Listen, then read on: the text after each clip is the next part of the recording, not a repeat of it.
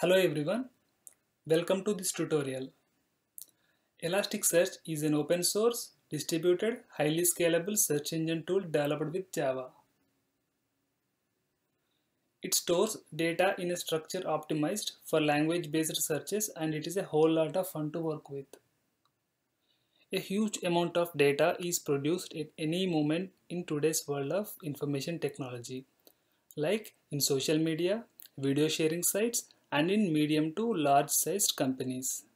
Here we are talking about information or data ocean. We call this ocean big data in the world of information technology. A significant part of this data is unstructured, scattered, and insignificant when it is alone. For this reason, some requirements of this data are at stake, such as recording, accessing, analyzing, and processing the data. Like similar search engines, Elasticsearch is a tool developed for dealing with the problems of big data mentioned above.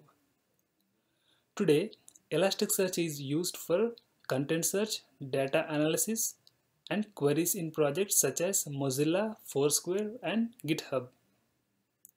In this tutorial, I will give you a hands-on introduction to Elasticsearch and give you a glimpse at some of the key concepts which you can see here. So let's dive in and explore Elasticsearch. Thank you.